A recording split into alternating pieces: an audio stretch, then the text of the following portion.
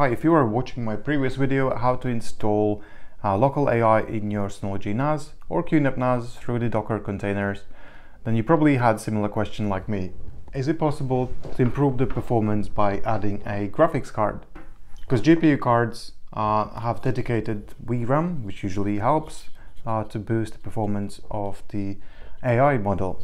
So this is something what we're going to be exploring today. Can we actually install graphics card in the Synology 1621 Plus and therefore we can improve AI performance and we can also enable Plex transcoding. So I wouldn't give too much of a hope for DS420 Plus upgrade, but there is NVMe to PCIe slot upgrade. Maybe I'll give it a try, we'll see. But my main focus is on this 1621 Plus and I got this uh, extension cable from X4 to X4 which allows me to install the graphics card.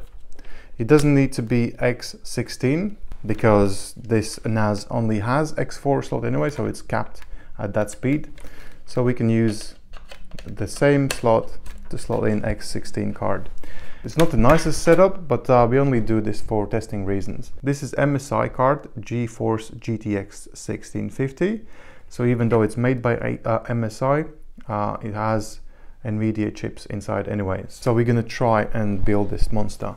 So I found this article on Reddit, which I'm gonna use for guidance. This is how to install graphics card in DS1820 Plus. Uh, this is a manual how to do that to improve your Plex performance, but we're gonna be using it for different purposes like AI and Plex. So we could shoot two birds with one stone. So there's a manual how to do that. So I'm going to zoom into laptop and we can go through the steps and see if this is something that's going to work or this is just a waste of the time. And there is a beep, so he has booted successfully. So now we can have a look in the admin panel what's going on. Is this card seen? Because we haven't installed any drivers, nothing. We just physically connected the card and that's it. So okay, let's head to control panel and have a look. So if you go to info center, you can see that PCIe slot 1 is occupied, so there is a graphics card. So first step is to install simple permission manager, but as you can see it's not in the general app library. So we are currently using 7.22 version of DSM.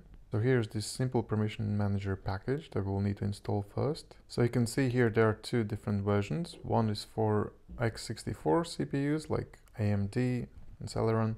And there's second option like ARM CPUs, Realtek and so on. So we will need to go for uh, x64 version. Okay, now we can manually install the package we just downloaded. Simple permission manager, click next. We need to accept that it's third-party app. It could be virus you never know with third-party packages, be careful. But we say we agree and we click next and we are done. Then we can go to installed apps and click open simple permission and check if it's active or not. So we need to activate it. Click submit and now this package is active. And now we need to install uh, NVIDIA GPU drivers. So here's the package for it. This is for x86 64-bit uh, CPUs which means you cannot install this graphics card in ARM-based CPU. And I want to say thank you to GMAS3MA who converted these drivers into installable package file for Synology. So now we go back to Package Center, click Manual Install, select our NVIDIA drivers and click Next. We again need to agree that this is third-party app. It could cause damage if you don't know what you're doing. Let's click Agree accept the terms, next. And the manual says you can choose any of these options. I'll choose pass-through environment. So again, thank you to RoboJet for creating this. Okay, the driver is started and uh, we can see the app is installed and it's all running. So now we need to go back to simple permission app, click users and find NVIDIA runtime library, tick that and then you can close that then we need to go to control panel and enable SSH. Here's SSH. You can change the port to keep it more secure, but uh, for testing reasons you can enable and disable this uh, service. Then you can open terminal.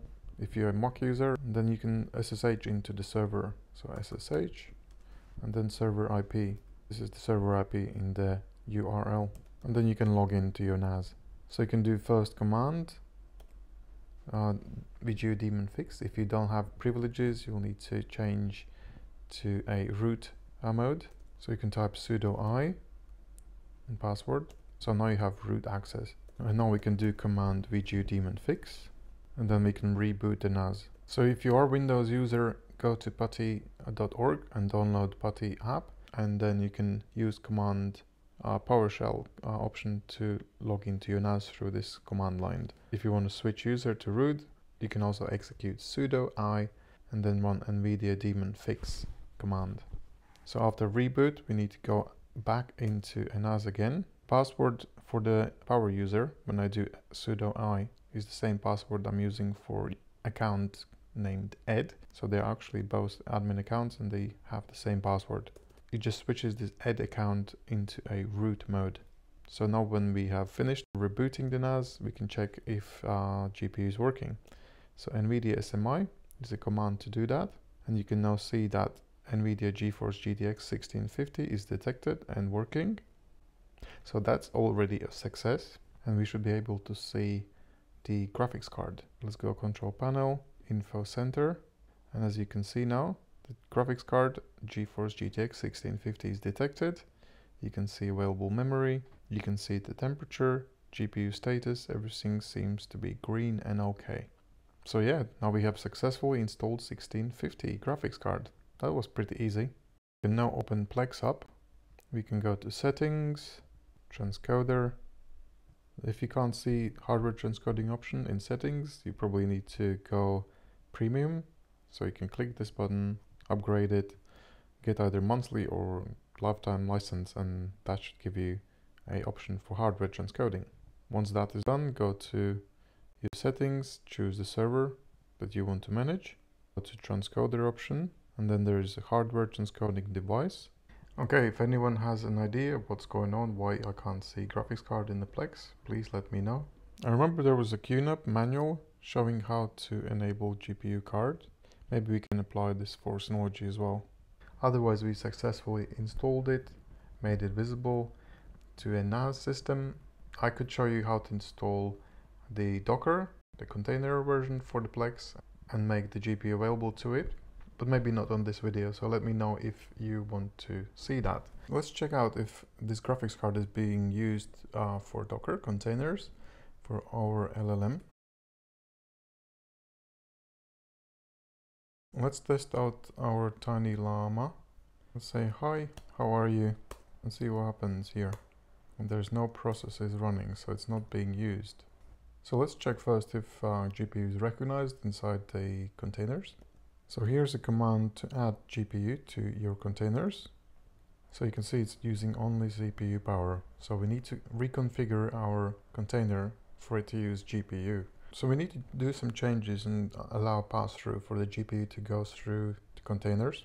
So we click on details, then we click on our Ollama, go to configuration. So let's do the change here.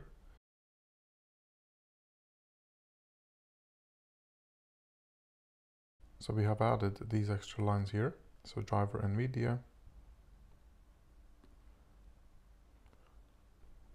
So let's have a look if we are going to be using GPU now or not. And now you can actually see that's using GPU power to generate answers in our LLM. Look at that speed, much, much faster. So let's have a look at um, DeepSeek. Because before we could see it was quite slow, so let's compare it. Hi, how are you?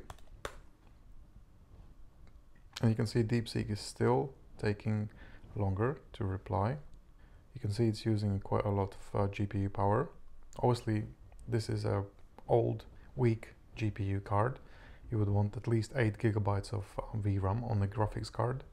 But uh, this is what we had in the shop, so we are testing this. And then after some thinking, it's actually giving out uh, answers fairly quickly. Okay, we have successfully installed graphics card into DS1621 Plus uh, using the PCIe slot and we managed to link our AI model with this graphics card. So it's not using CPU power and you can see it's working much, much faster now. If you're curious how to install this LLM, uh, language model, AI engine on your NAS, then you can go to DIGIBITE channel and have a look. There's one of those videos available. how to install local AI in five minutes. So you can go through the video and figure out how to do it. We also tried to link it with Plex, but uh, native Plex app doesn't work. Uh, if we are going through the Docker route, there were instructions available. It would uh, work probably very easily.